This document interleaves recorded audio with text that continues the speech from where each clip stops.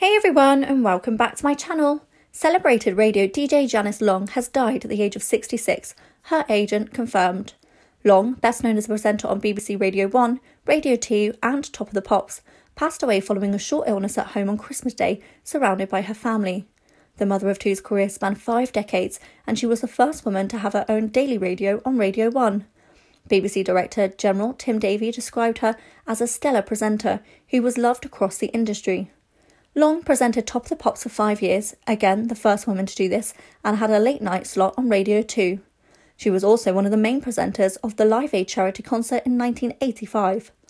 Long was born in Liverpool and grew up there alongside her brother Keith Chegwin, who passed away in 2017. Following the news of Janice's sad passing, tributes have been pouring out this Boxing Day.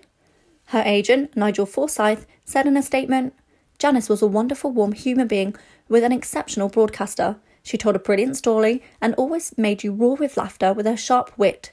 She will leave behind her husband Paul and two children who she taught the world of. Lorna Clark, who is the controller of pop music at the BBC, also paid tribute to the late star. Everyone in the pop radio was saddened to hear of the passing of Janice Long. Her gushing post began.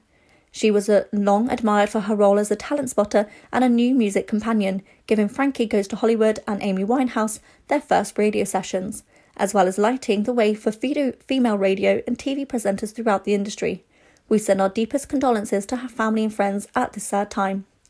Thanks for listening. For more celebrity news, please like, comment, and subscribe.